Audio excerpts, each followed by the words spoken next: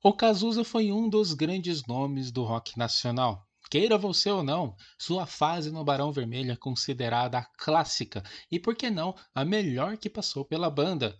Em sua carreira solo, lançou diversos sucessos que posteriormente acabou sendo tocados pelo próprio Barão Vermelho, já que sua parceria de composições com o Frejá nunca se desfez, mesmo após sua saída da banda.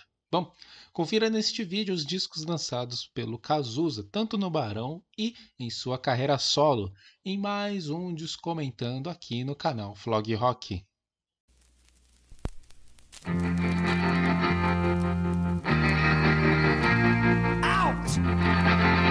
Salve, salve, galera do canal Vlog Rock, aqui é Douglas Pinheiro e este é o quadro Descomentando.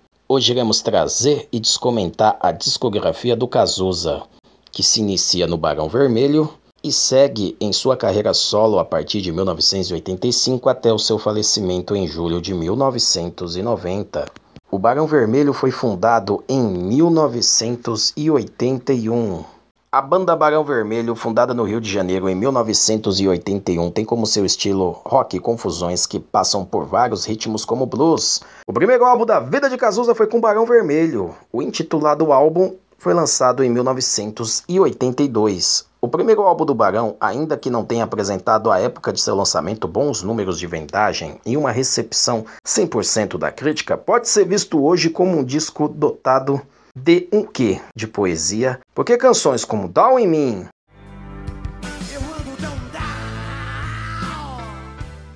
Rock Geral,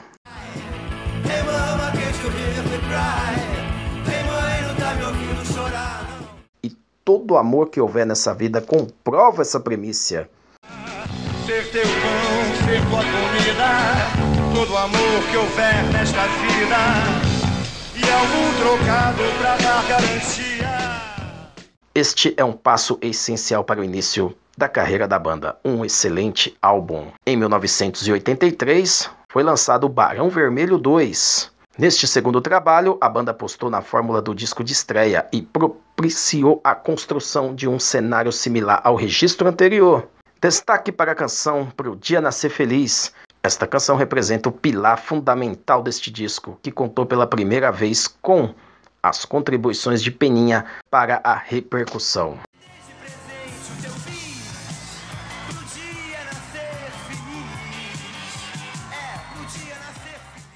Mas é em 1984 que o Barão Vermelho lança um de seus melhores discos. O terceiro álbum se chama Maior Abandonado. Um pouquinho de proteção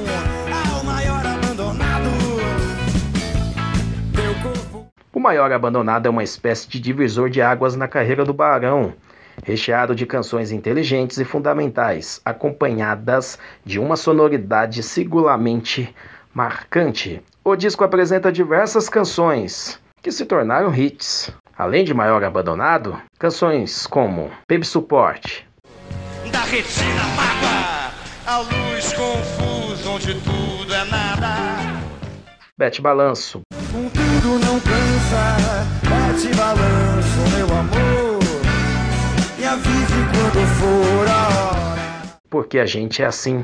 Menos engole, mais não me assim. São grandes hits.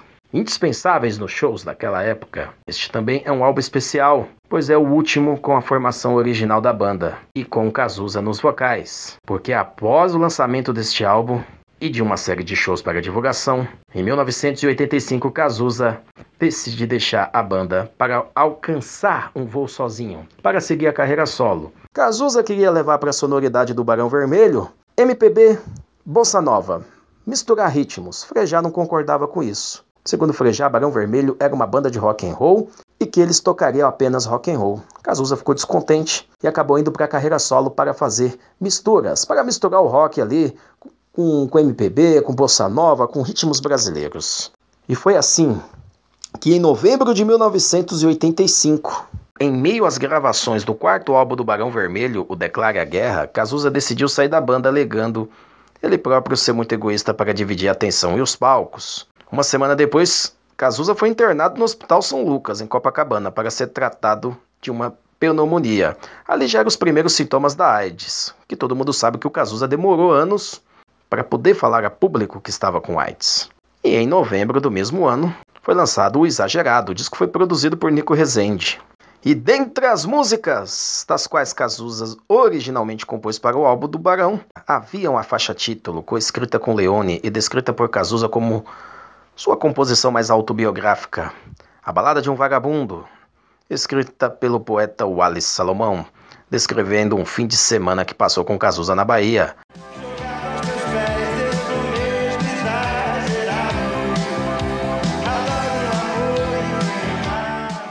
Mal nenhum. Teve colaboração de Lobão. Além de Só as Mães São Felizes. O disco é sensacional. Eu particularmente adoro a canção Medieval 2.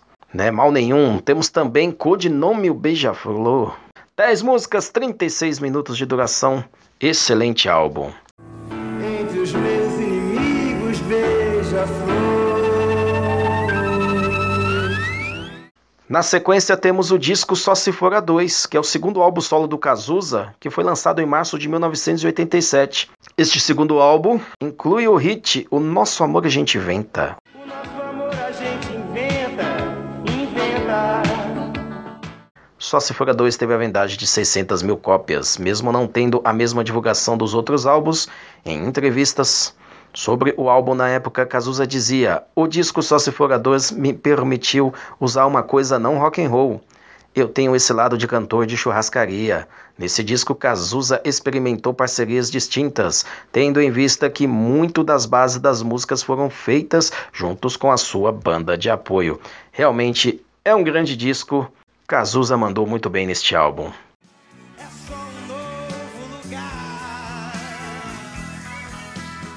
No ano seguinte, 1988, Cazuza lança seu terceiro disco solo.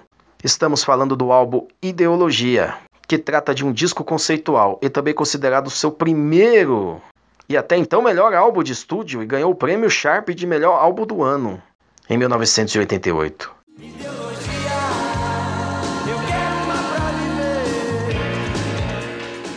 É considerado um de seus melhores álbuns e nele Cazuza fala sobre sua relação com a AIDS e com a morte. A capa do álbum, na época, causou certa polêmica, pois misturava suásticas e Estrela de Davi. O disco também se destacou pela canção Faz Parte do Meu Show, com arranjos de bossa nova, tendo acompanhamento orquestral. Eu particularmente não gosto dessa música, mas ela é um hit.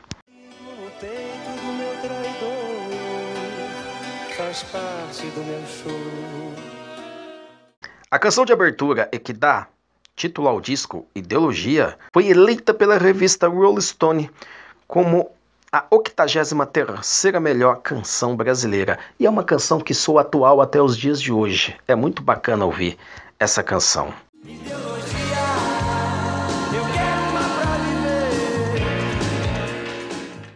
Sobre Cazuza, na época de ideologia, a AIDS, doença da qual ele sofria desde 85, volta a se manifestar em outubro de 1987. Cazuza é internado na Clínica São Vicente, no Rio de Janeiro, para se tratar de uma nova pneumonia. Logo depois, ele foi procurar tratamento nos Estados Unidos. Ao voltar ao Brasil, no começo de dezembro de 1987, depois de dois meses de tratamento em Boston, Cazuza inicia as gravações deste excelente álbum Ideologia. Entre as faixas, destaca-se como sucessos as canções Brasil, Ideologia, faz parte do meu show. Ideologia é a faixa título do álbum e foi composta pela aclamada parceria de Roberto Frejá e Cazuza. Eles continuaram com parceria ali nas composições. É junto a Exagerado e O Tempo Não Para, uma das músicas de maior sucesso do cantor. Ideologia foi uma das primeiras letras escritas por Cazuza após ter descoberto o sessoro positivo, o que mostra no verso O meu prazer agora é risco de vida. Já o Hit Brasil foi composta por Cazuza em parceria com Nilo Romero. E Jorge Israel do Kid Abelha ganhou o prêmio Sharp de melhor canção. É considerada uma declaração de amor ao país. No mesmo ano de seu lançamento, a canção foi gravada por Gal Costa, numa versão mesclando samba rock. Essa versão da Gal Costa foi incluída como tema de abertura da novela Vale Tudo, da Rede Globo.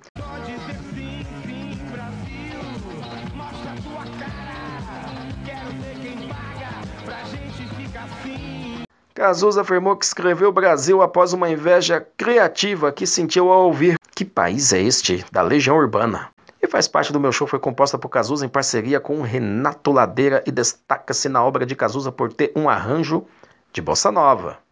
Apesar de ser mais lembrada com Cazuza, ela foi originalmente gravada pelo grupo Erva Doce, com um arranjo rock e algumas mudanças na letra. Sobre a capa do disco, é uma foto tirada por Flávio Kuckler, de uma instalação artística de Barrão, que reuniu objetos que ele encontrou após uma chuvarada na praia de São Conrado e ilustrações representando ideologias.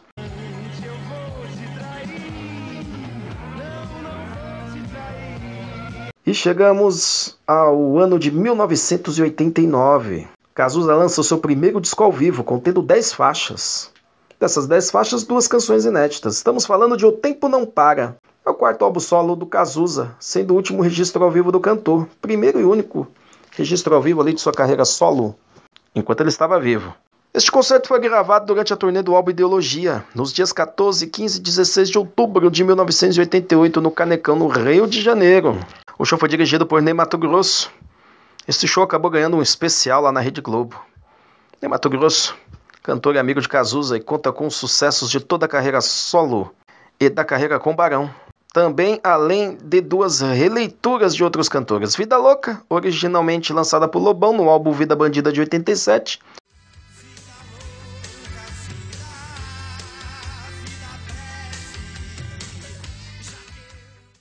E o Tempo Não Para, originalmente lançada pela banda Hanoi Hanoi no álbum Fanzine de 1988. O Tempo Não Para em específico foi composta por Cazuza em parceria com Arnaldo Brandão, baixista e vocalista do Hanoi Hanoi. É junto à exagerada ideologia uma das canções de maior sucesso do cantor. O verso: Mas se você achar que eu tô derrotado, saiba que ainda estão rolando os dados. É uma alfinetada na mídia, já que ele dava como morto ideias não correspondem aos fatos. Tempo não para. E a discografia do Cazuza compreende em quatro álbuns de estúdio, um álbum ao vivo, dois álbuns póstumos, 19 álbuns de compilação box set, um álbum de remix e sete álbuns tributo. O último trabalho de estúdio de Cazuza foi lançado em 1989. É o Burguesia. É um disco duplo, são 20 canções. As 10 primeiras canções traz o lado mais rock de Cazuza. No LP2, as outras 10 canções traz o lado mais MPB e bossa nova. Cazuza sempre quis fletar para esse lado da MPB e da bossa nova. E foi ali, no álbum Burguesia, que ele conseguiu realizar este sonho.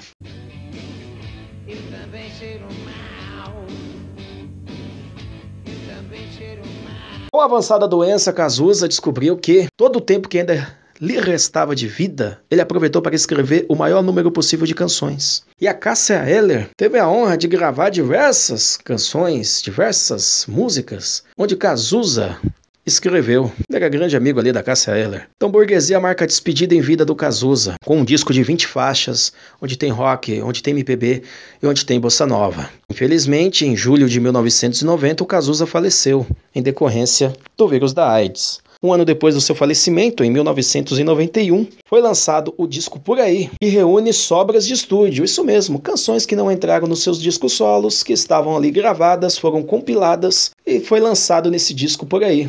Foi o último trabalho inédito de Cazuza.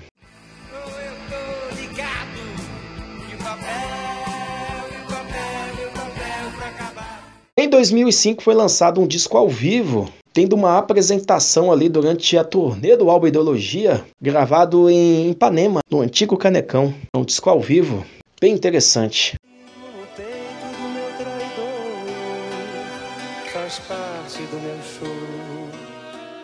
E é isso, meus amigos. Cazuza até hoje, suas canções, suas letras, suas poesias ainda soam atual, suas críticas também.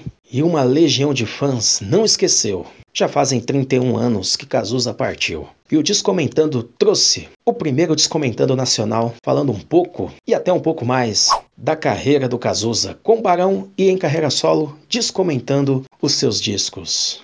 Em breve, o Descomentando trará outros nomes do nosso rock nacional para a gente descomentar a discografia. Curta o vídeo, se inscreva no canal, compartilhe com seus amigos todas as quintas às 19 horas. Tem vídeo novo no canal Vlog Rock. Eu, Douglas Pinheiro, me despeço. Até a próxima. Valeu!